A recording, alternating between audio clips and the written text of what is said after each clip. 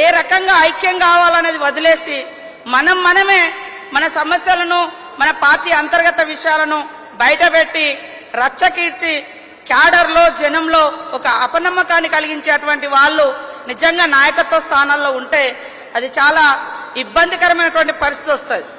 అందుకనే బూత్ స్థాయి నుంచి మనం ఇల్లు నిర్మించుకుంటున్నాం ఈ ఇంట్లో మనం ఉండబోతున్నాము ఈ ఇల్లు ఎన్ని సంవత్సరాలు మనం ఎంత పటిష్టంగా నిర్మించుకుంటే మరి అంతకాలం మనకు ఈ దేశానికి ఈ రాష్ట్రానికి రక్షణగా ఉంటుంది అనేటువంటి విధంగా ఒక కుటుంబ పెద్ద ఎట్లయితే ఉంటాడో నాయకుడు కూడా ఆయా స్థాయిలలో నాయకత్వం వహించేటువంటి నాయ నాయకుడు కూడా అంతే ఓపికతోటి సమన్వయకర్తగా పనిచేసుకుంటూ వెళ్ళాలని కూడా ఈ సందర్భంగా తెలియజేస్తా ఉన్నాం.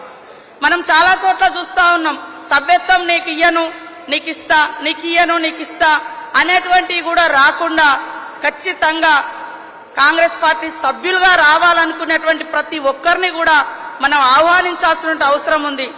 ఇప్పుడున్న కష్టకాలంలో రైతు కష్టపడి ధాన్యం వచ్చిన తర్వాత కూడా ఇంకా ఏమన్నా పడిపోయిన ఏమో చేన్లల్లో అని పెరిగేరుకుంటారంటారు. ఆ రకంగా ప్రతి ఒక్కరిని కూడా మనం సమీకరించుకొని బలమైనటువంటి కాంగ్రెస్ పార్టీని నిర్మాణం చేసుకోవాలి.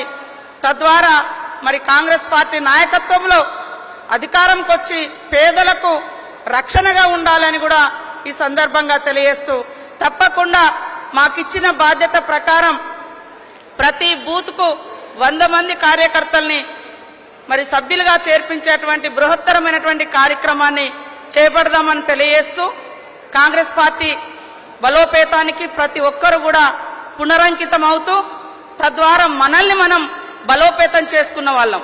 కాంగ్రెస్ పార్టీ సభ్యుడు వేరు కాంగ్రెస్ పార్టీలో నువ్వు వేరు నేను వేరు కాదు.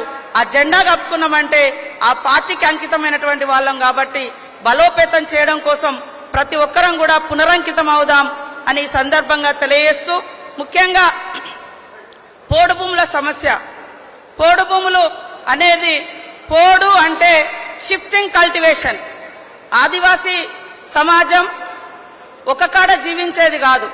ఎక్కడ అడవులు ఉంటాయో ఎక్కడ నీరు ఉంటుందో అక్కడ ఒక్కొక్క సంవత్సరం ఒక్కొక్క కాడ లేదా రెండు మూడు సంవత్సరాలకు ఒక్కసారి ఒక చోట పోడు అడవి కొట్టుకొని కాల్చి మరి పారలతోటో గడ్డపారలతోటో కొయ్యలతోటో విత్తనాలు చల్లి తర్వాత మళ్ళీ అక్కడి నుంచి ఇంకో కాడికి పోయేది. ఇది పోడు కల్టివేషన్. ఒకప్పుడు. కానీ ఇప్పుడు స్థిర వ్యవసాయం వచ్చిన తర్వాత అన్ని వర్గాలలో ఇటు మైదాన ప్రాంతాలలో కూడా మరి ఒకప్పుడు సమాజం అంతా కూడా అడవులతో నిండి ఉన్నది కాబట్టి మన యొక్క జీవన వృత్తి కోసము అడవులను నరుక్కొని వ్యవసాయం చేయడం అనేది అలవాటైనటువంటి పరిస్థితి.